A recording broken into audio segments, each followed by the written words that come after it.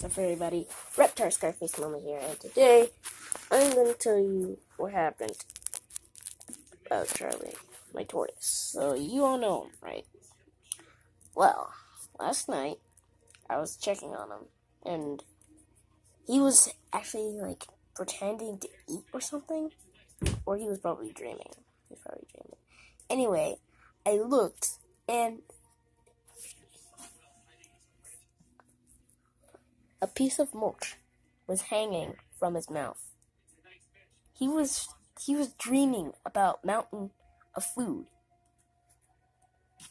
So he also probably wants the virus to be gone so we could go and he can have a mountain of food again. So, so there's also something else that happened. I was actually going to make this video today and what happened, I took him out so I could take a picture and show you guys. But what he did, he freaking peed on my floor.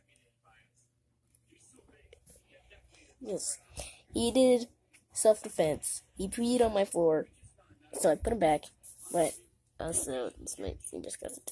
I mean, the next thing I, I'm gonna tell you might be disgusting, so I'm not even gonna say it. I'm not even gonna say what other thing that disgusting because that was freaking gross. So, you know, those are two things that happened to Charlie. So, he also probably wants the virus to go. I do as well. So, if you guys are waiting the virus to go, leave a like and comment down below if you also want the virus to be gone. Literally, because I hate it. So, peace out.